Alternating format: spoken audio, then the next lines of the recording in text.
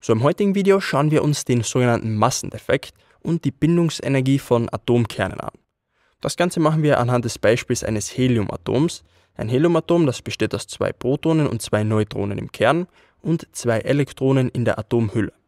Und wir wollen in diesem Video die Bindungsenergie dieses Atomkerns berechnen.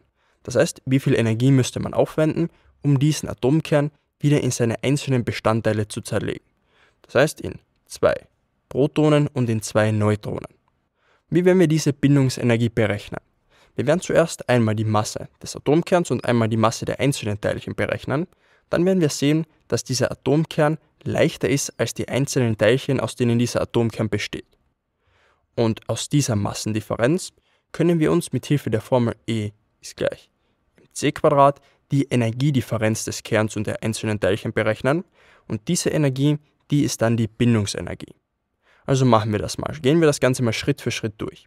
Wir brauchen für diese Rechnung einmal die Masse eines Neutrons, die Masse des Protons, die Masse eines Elektrons und die Masse eines Heliumatoms. Ich habe diese Massen in der sogenannten atomaren Masseneinheit U angegeben. Eine atomare Masseneinheit ist ungefähr 1,6 mal 10 hoch minus 27 Kilo, also eine extrem kleine Einheit. Ein Neutron hat ungefähr eine atomare Masseeinheit.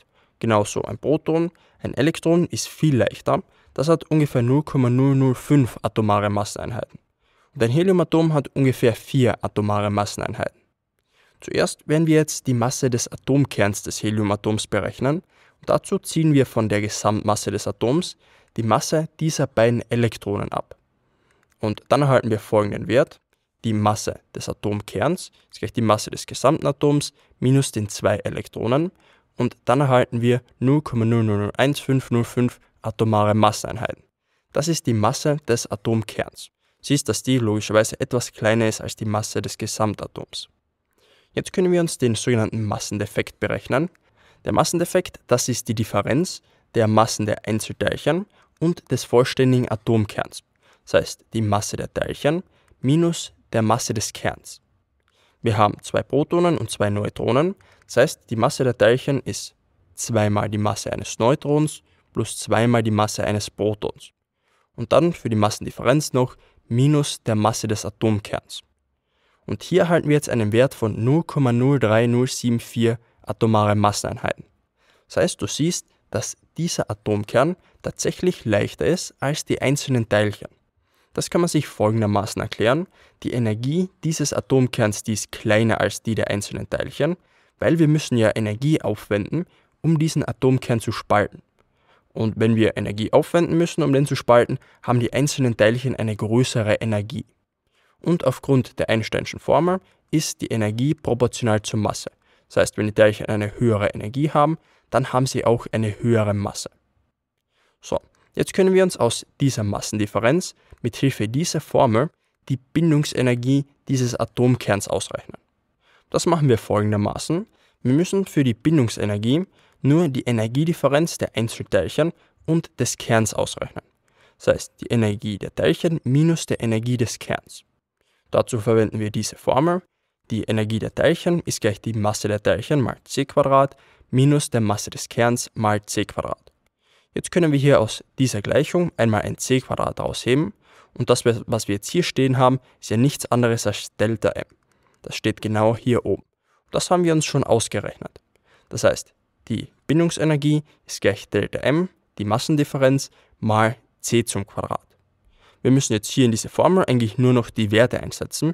Wir wissen, Delta m ist das hier und c Quadrat ist ja die Lichtgeschwindigkeit zum Quadrat. Das heißt 3 mal 10 hoch 8 Meter pro Sekunde zum Quadrat. Hier machen wir uns das Leben aber einfach. Und zwar kann man mit diesen Einheiten etwas herumspielen. Dann sieht man, dass diese, dass diese Lichtgeschwindigkeit zum Quadrat gleich 931,5 Megaelektronenvolt pro atomare Masseneinheit ist. Dieser Wert, der kommt einfach raus, wenn du diese Einheiten in diese Einheiten umwandelst. Und diesen Wert findet man auch in vielen Formelsammlungen für c Quadrat. Und der Wert bietet sich natürlich in diesem Fall perfekt an, weil wir auch hier die atomare Masseneinheit haben.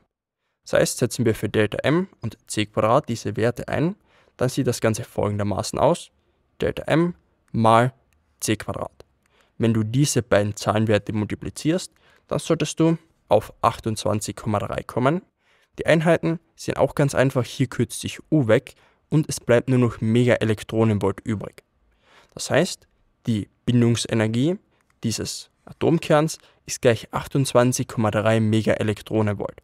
Diese Energie, die müsste man aufwenden, um den Atomkern zu spalten.